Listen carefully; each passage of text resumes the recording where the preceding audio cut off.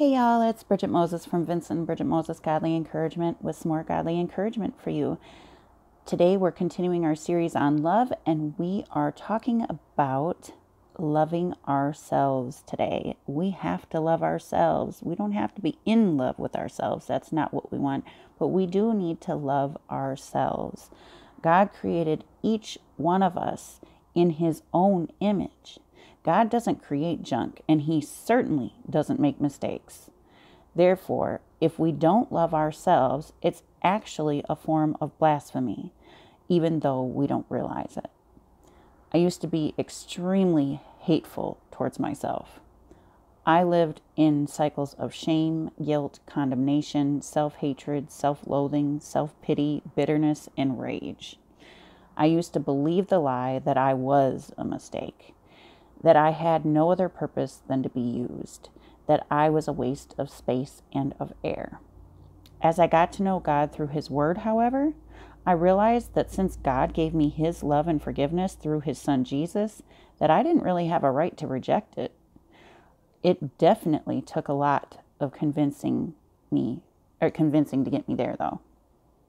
I remember one day thinking about how terrible of a person I was because of everything that I did before knowing Jesus. I heard so clearly in my spirit, not in an audible voice, but it was such a clear thought that it might as well have been. I heard in my spirit, So are you saying that you're more powerful than my son? Instantly, I shockingly replied, No. And I heard God say to me, Yes, you do. You're saying that you're too bad and too dirty for my son's blood to cleanse. So therefore, you're saying that you are more powerful than my son. I was floored. God was right. I kept rejecting the free gift of God's grace because I felt unworthy of receiving it. Jesus died such a horrific death on the cross for me, and I was essentially throwing it back in his face. That was a painful revelation at the time. It really was, but it was also one of the most freeing revelations that I've ever had. God helped me to realize that I didn't have to be clean to receive His love, that it was because of His love that I was clean. Let me say that again. God helped me to realize that I didn't have to be clean to receive His love, that it was only because of His love that I was clean. Let that sink in for a minute. He is the only reason we're clean. Him and Him alone. Jesus, the blood of Jesus is what cleanses us, nothing else. If God saw fit to send his son to die for me while I was yet in my sin, when I was a filthy mess, filthy, hot, stanky mess in my sin, then what right did I have to reject that love? This was my first step on my journey of learning how to receive God's love and, in turn, love myself. God helped me to understand that I wasn't a mistake I was not a mistake, and neither are you. That He loves me with an everlasting love, and He loves you with an everlasting love. That nothing could ever separate me from that love, nor will it separate you from that love. That I had to receive that love by faith so that I could love others. We have a tendency to talk to ourselves in a way that we never talk to others or allow other people to talk to, to anyone. When we're nasty to and hard on ourselves, we're in essence telling God that He didn't know what He was doing when He created us. we're unrighteously judging His creation, us. That's no way to thank God for the literal hell that he went through in order to save us and to give us life exceedingly and abundantly above all we can think, hope, or imagine. As I've said before, we can't give something away that we don't possess. unless we receive God's love first, then learn how to love others, we won't know how to love anyone else. God's agape love is unconditional. His grace knows no bounds, and His mercies are new every morning. He never beats us over the head with a stick, so we should never either. I have an unspoken rule. If I wouldn't say it to anyone else, or God wouldn't say it to me, then I won't allow myself to talk to me like that either. When we learn how to love ourselves, we can allow that love to flow out onto others. We're the perfect training ground for God's love in action. It was not an easy road to learn to love myself. I had been so ingrained in self loathing and um, self hatred um, and self period that it was hard for me to receive his love. I really felt unworthy. I had to deal with a lot of shame and condemnation um, and residue from sin. But the more that I poured myself into the Bible, asked God to help me to understand it, the more that I read it, I would listen to it on headphones. I'd listen to the audio Bible over and over and over and over again. I would actually listen while I was asleep. It because I used to have such terrible nightmares. I used to have like real disturbing dreams every single night for as long as I could remember. I had them every night. As a matter of fact, I was on a couple medications at one point for those nightmares. Um, and no, I'm no longer on any medications now. Just to want to throw that in there. Give glory to God for that. Um, and haven't been on any psych meds for um, like five or six years. I think it's like five years ago that I was finally off the last segment. Um, but the more that I poured myself into reading God's word and filling, because whatever we fill ourselves with is that is what we're going to be, that's what's going to come out of us.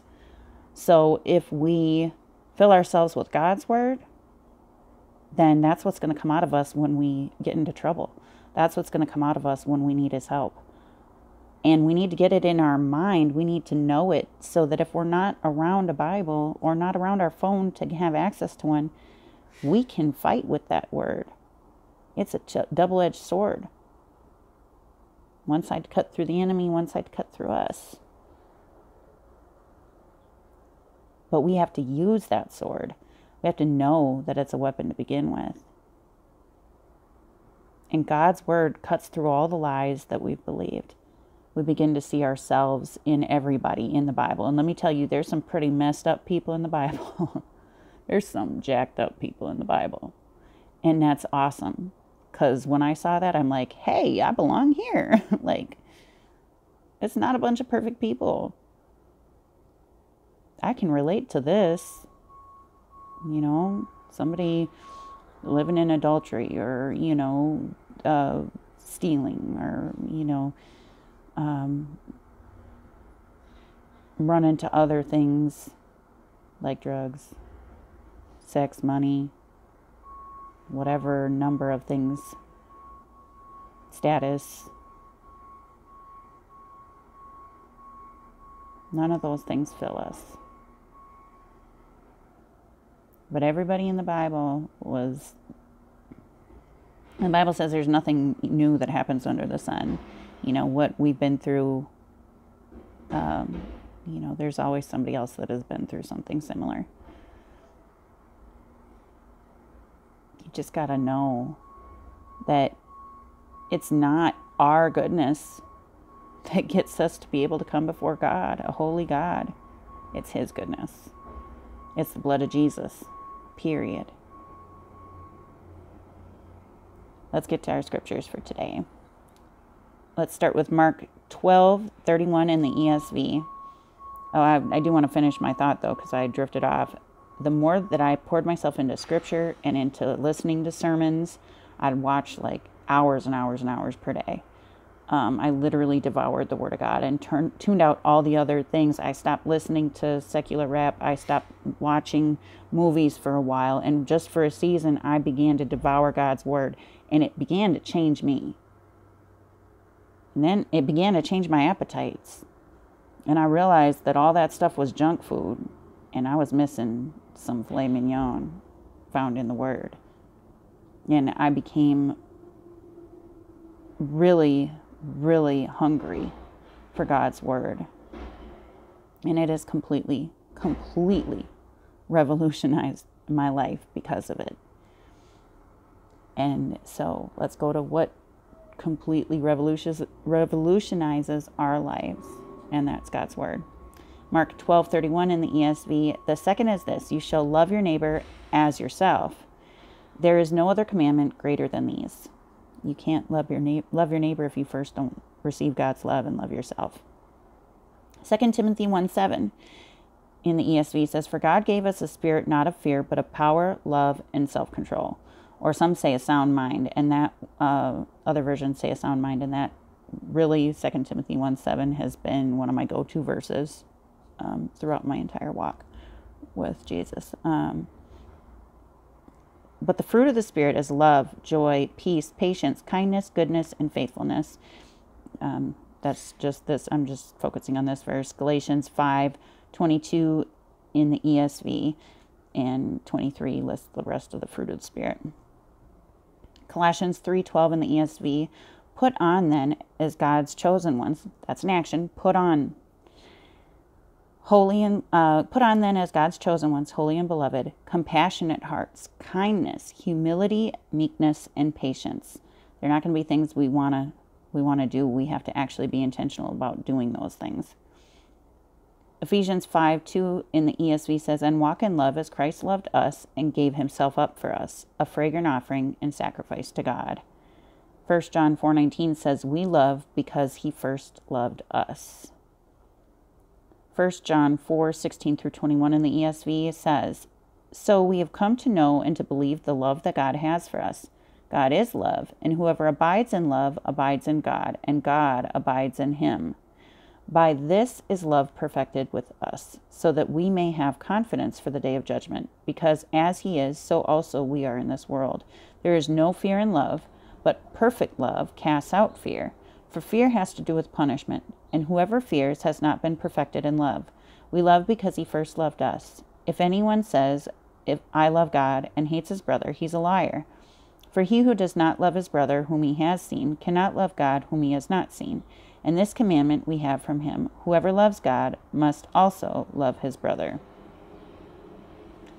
1 John 4 9 in the ESV says, In this the love of God was made manifest among us, that God sent his only Son into the world so that he so that we might live through him. Ephesians 3 14 through 21 in the ESV says, For this reason I bow my knees before the Father, from whom every family in heaven and earth is named, that according to the riches of his glory, he may grant you to be strengthened with power through his Spirit in your inner being, so that Christ may dwell in your hearts through faith. That you, being rooted and grounded in love, may have strength to comprehend what with all the saints what is the breadth, length, depth, height, and to know the love of Christ that surpasses knowledge, that you may be filled with all the fullness of God. Now to him who is able to do far more abundantly than all we ask or think, according to the power at work within us. To him be glory in the church and in Christ Jesus throughout all generations, forever and ever. Amen. Once again, that was Ephesians 3 14 through 21 in the ESV, and all of our scriptures will be in the description box below. 2 John 1 6 in the ESV says, And this is love, that we walk according to his commandments. This is the commandment, just as you have heard from the beginning, so that you should walk in it. 1 Corinthians 3, or, um, 13 3 in the ESV says, If I give away all that I have, and if I deliver up my body to be burned, but I have not love, I gain nothing. 1 John 3:18 in the ESV says, "Little children, let us not love in word or talk, but in deed and in truth." Love is an action. Love is shown in action. God showed his love for us by sending his son to die for us. That was his action. Now, it has been, it's finished. He's done everything he's going to do. We receive the finished work of Christ. We receive his righteousness, his love, his salvation, his healing, his deliverance, his freedom. We receive it all in him. If you haven't received Jesus as your Lord and Savior, I urge you to do so. All you need to do is confess with your mouth that Jesus is Lord and believe in your heart that God raised him from the dead, and you shall be saved. That's it. You're saved by faith in that. Jesus says that whoever comes to him, he'll never turn away anybody. I paraphrase that, but he will not turn anyone away. If you feel like you if you've never confessed with your mouth that Jesus is Lord and believed in your heart that God has raised him from the dead, then do it today. You're not guaranteed 5 minutes from now. You're you're only guaranteed right now. We never know what can happen. And if you feel that tug, there's a reason. Don't ever think that you have to be perfect to come to God cuz none of us are. Even after receiving Jesus, our spirit is recreated instantly and is a perfect copy of Jesus' spirit, Christ's spirit. But it's we still have our soul to deal with. We are our soul is being perfected until Jesus returns. The only perfect man ever to walk this earth was Jesus, so you're off the hook. You don't have to be perfect. Your only Competition is yourself. That's it. To be better than who you were yesterday. And you will fall time and time and time and time again. As long as you keep getting back up, you'll get to where you're going. Just keep getting back up, no matter how many times you fall. When you fall, repent to God. Repent means a change of action, to change directions. You repent, you receive His forgiveness, don't do like I did and was like, I'm not worthy of your forgiveness and rejected it, like I said earlier. We have to receive the gift, we got to open it. And then we ask Him to cleanse us of all unrighteousness. We receive Him cleansing us of all unrighteousness. And that's process. Things don't happen overnight in the kingdom of God. We live in a microwave, you know, internet right at your fingers 5G society. God is God is more like a typewriter versus the internet. God is more like a crock pot than a microwave. Sometimes like a pressure cooker. but he's always with us. And we always get to know him more and more throughout that process. Never allow yourself to be so discouraged. Give him give God as much time as you gave the world and I promise you you won't be disappointed. Give God as much time as you gave the world and I promise you you won't be disappointed. That's from Mama Joyce Myers. Meyer. Why do I say Myers sometimes? I don't mean to. That's from Mama Joyce Meyer.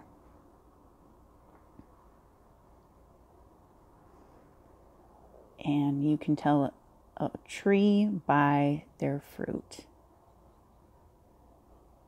Listen to those that have gone before you. It makes our flesh cringe. It does. It's offensive sometimes. We don't want to hear it. We just want to stay stuck in where we're familiar with. But I promise you, ain't nothing there for you. Nothing. You're not going to miss out if you go forward. Yes, you don't know what's going to happen. God does. Trust the one that does. And we'll see you next time when we continue our series on love.